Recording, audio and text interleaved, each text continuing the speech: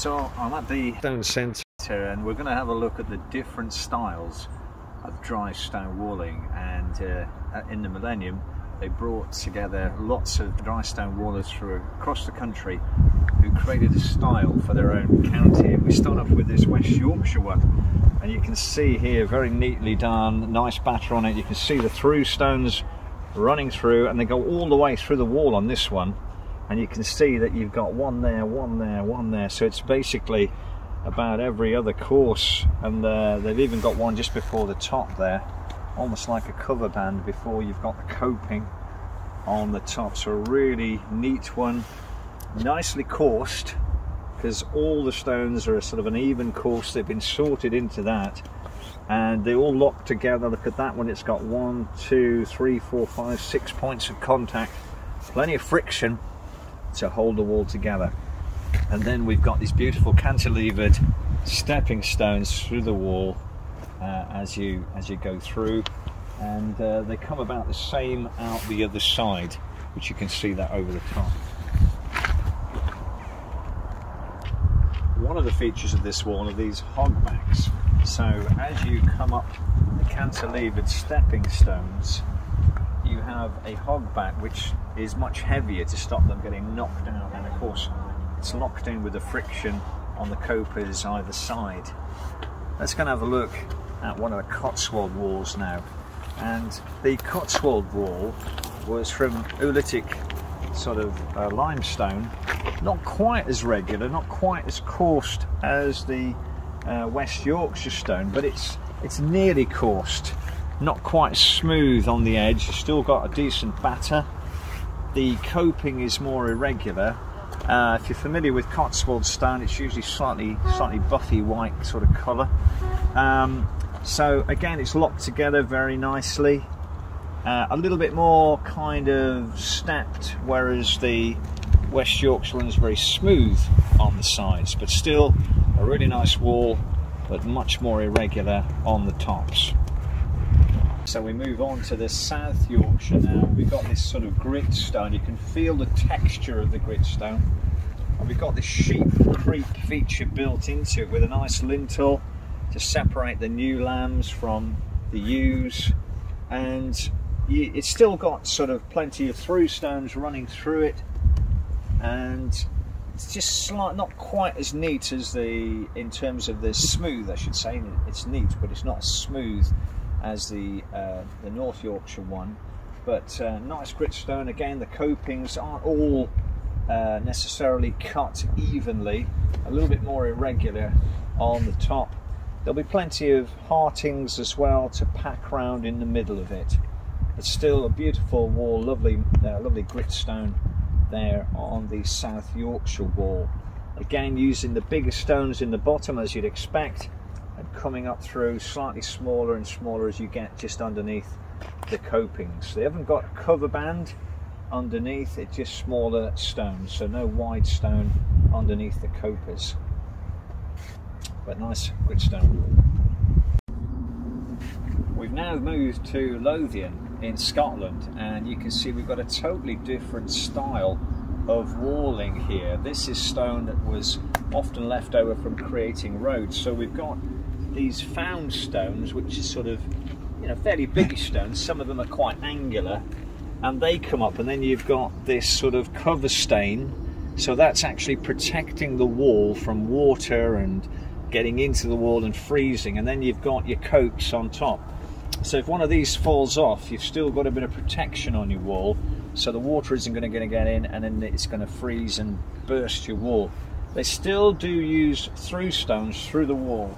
Um, so I don't know whether on the end uh, it's got, sometimes they'll use a two thirds and a third. So you can see on this one here, they've used two thirds through and a third. And of course what you do is you reverse that a bit higher up, two thirds and a third, which acts the same as a through stone going all the way through the wall. You can see it's a little bit more irregular as you get to the top with this kind of stone, a lot of triangular stone but again it makes a, a, a nice wall. Okay.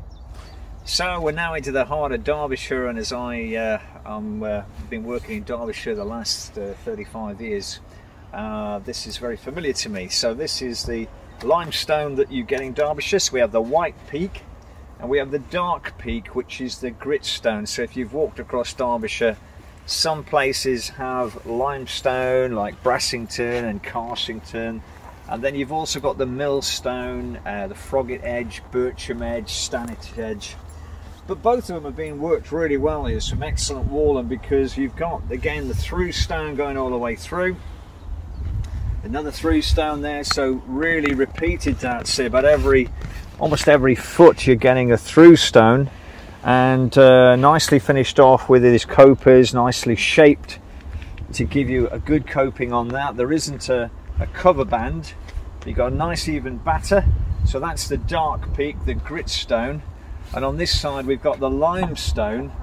And uh, a little bit harder to shape limestone. Of course gritstone you can cut it any way you want with a bolster and chisel. But with the limestone um, a little bit harder it, it, can fracture a little bit uh, easier. But still nice even copings on the top here. Again a good batter. Occasionally putting a, a through stone through a little bit more irregular um, but nicely no vertical joints on all of them. Really nice walling. Um, another excellent wall. So two types in Derbyshire, the White Peak limestone and the Dark Peak, which is the gritstone. We now move to South Wales into this pennant style of walling and uh, again we've got a gritstone, a little bit different, not as gritty as the Derbyshire one, quite a lot of iron uh, pyrite, this iron oxide which gives you this lovely brown colour in places on it. I think one of the key differences, it's quite nicely coursed, but the coping is a little bit more boxy, so it comes up as a bit more of a square rather than that rounded coping that the Derbyshire one does. Um, but again, everything else, it's got the throughs, it's making sure that the joints don't go vertical, and again, a good batter on them. Uh, most of it is coarse near the top. Some of it, yeah, I've got jumpers in there as well to step up uh, but again, a, a, lovely wall, slightly harder gritstone. So this one is from the Highlands Caithness. And this is uh, a laminated uh, sandstone, almost like a, like a mudstone that's got really, really hard. Uh, the tricky thing with this wall is that because it's like flags in a way, it takes quite a long time to build because there's lots of, you know, about two inches, 50 mil pieces that you've got to put together Again, it's bonded very well. You don't use a lot of heartings in this. It's almost a full wall, so you don't need little bits in it uh, of stone or even offcuts of these. It pretty much fills the whole thing. So because of that being that size, you really, it's a lot slower to build it, even though it's coursed. And then you've got these slightly more irregular ones on top to give you a little bit of protection to the top of the wall. So that's the Caithness, uh, north of Scotland bit of walling there. We're going to go on to some different types now. This is a, a, random double dyke. So dyke, they often use that word for wall in Scotland, the west of Scotland. And uh, what you have, the through stones which go through the wall are called a through band. And uh, you can see it's getting a lot more irregular on this kind of stone so this is an igneous rock, so it's more of a, a volcanic rock, a molten rock. And so the shapes are a little bit more irregular. You start to see, sometimes it sparkles a little bit, uh, a little bit like igneous rocks, but much more irregular, so much harder to course.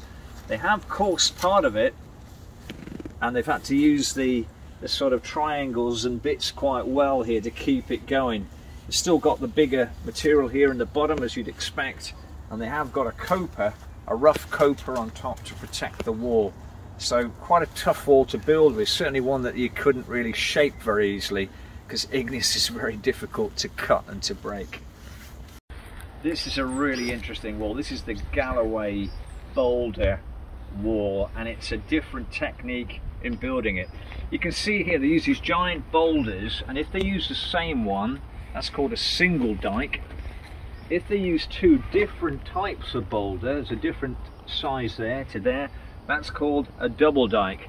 And when you're building this, I remember one of the great dry stone wallers, Trevor Ragg, telling me about this, how you put a plank and you have to roll the boulder up a plank to put it into into into location, into position. So if ever you're competing, if you didn't know that, you might be trying to lift it, and just a simple thing by having a little piece of wood to roll it up will will solve that problem. And then you've got the bigger boulders here.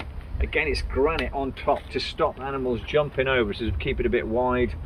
And uh, again, there's quite a lot of friction on the stone, which locks them into place. Uh, so that's a really interesting one, a boulder wall there from Scotland. So this one is from the Isle of Skye and it's a different technique again. The stone used is basalt, a really hard rock. You know, it's even harder than granite. And they use these big pieces in the bottom to form the base of the dike. Look at those massive pieces take up a large percentage of the wall and sometimes what they do on top, they sometimes have a boulder, but in this case they've used turf and, uh, and, and, and just sort of, you know, use that to protect the wall. And I've seen this in Cornwall where sometimes they plant it up with thrift, uh, armeria or another plant to just take the moisture and stop it getting in the wall. So it's quite a nice thing to do.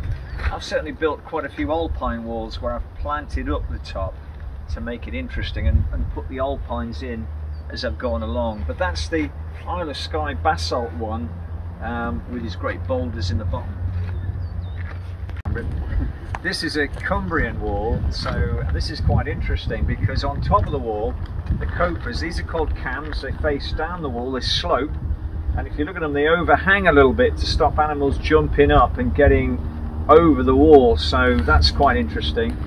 Um, the actual rock itself is a slate.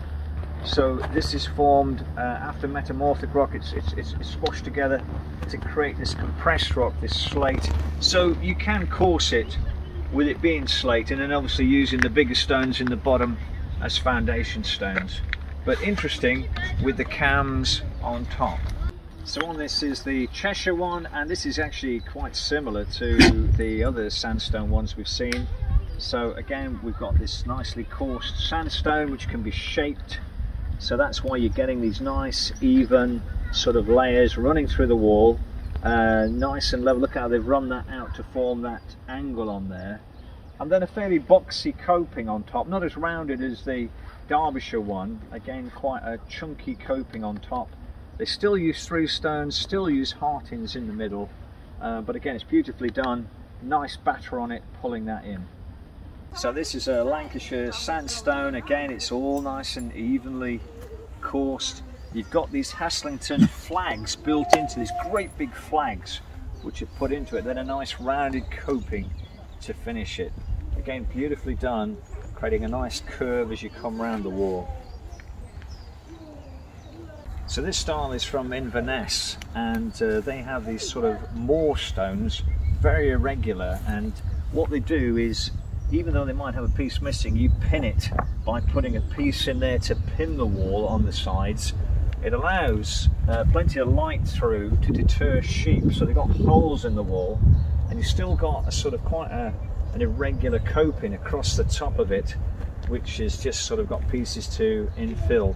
So uh, that's another style not too dissimilar to the Isles of Skye.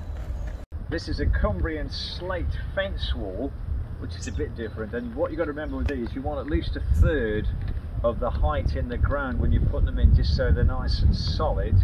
I would just go over and have a look at one of the Welsh walls, which you'd often get uh, off this dike. You see some of these around, the Clwyd uh, kind of wall, which uh, Clwyd is actually hedge in Welsh.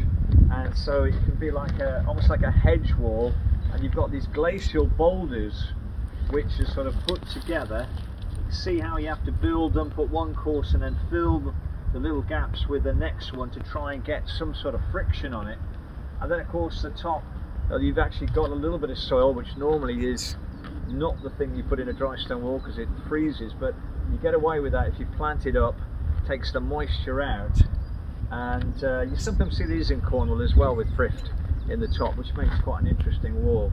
Um, so there's a collection of different dry stone walls. If you get the chance, come to the Stone Centre in Cromford and you can see this and it's really interesting to see all the different county styles and they did an excellent job and they're still looking really good.